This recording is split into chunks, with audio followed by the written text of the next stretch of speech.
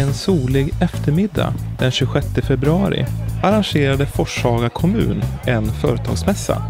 50 företag var bokade, bland annat Karlstads baserade sociala arbetskooperativet Grön Framtid för att vid kommunens läscenter visa upp sina verksamheter för alla som är nyfikna på det värmländska näringslivet.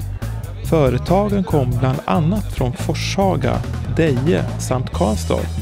Och arrangörerna då? Ja, de kände sig givetvis nöjda med upplägget. Ja, vi har ju bjudit in till den här företagsmässan eh, för att vi tycker att det är bra med en mötesplats här i kommunen där företagare kan möta konsumenten.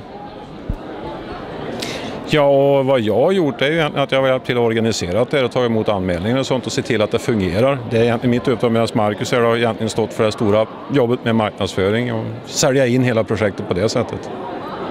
Målsättningen var 40 utställare och nu är vi ju faktiskt 50 utställare. Så det har vi ju över, det har vi uppnått absolut. Målsättningen hade vi också att ha ungefär 700 besökare Eh, då får vi se hur det går. Men eh, det ser ju bra ut just nu i alla fall. Ja, och vi kommer ju inte stå och räkna allihopa, men vi kommer naturligtvis att uppskatta det till att det är minst 700. Hur känns det att vara med på Företagsmässan? Det känns jättebra. Väldigt intressant tycker jag.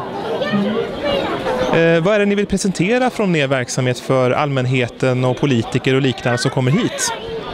Nej, men vi vill visa att det går att starta kooperativ och att det är en bra, ett bra komplement till vanliga arbeten.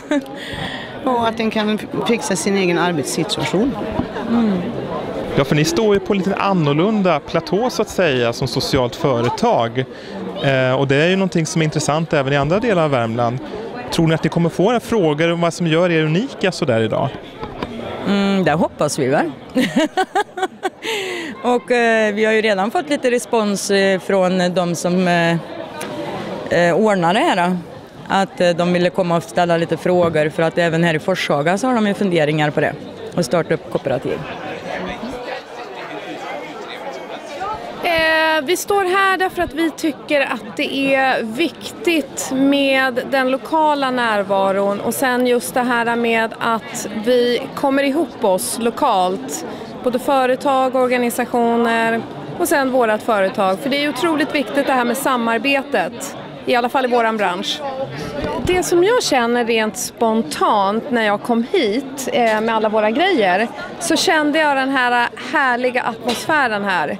Just den här känslan av att här är vi allihopa tillsammans. Alla företag som finns i och kring Forshaga men också i Karlstadregionen. Så att jag tycker det är en jättetrevlig känsla det här och känna den här gemenskapen även fast vi inte är i samma bransch Ehm, och så vidare. Så att det här är någonting som jag uppskattar otroligt mycket. Just för det här med, med samarbetet mellan allihopa i näringslivet. Eh, med tanke på hur många personer som faktiskt har kommit hit idag, hoppas ni på en fortsättning med fler eh, liknande arrangemang i framtiden?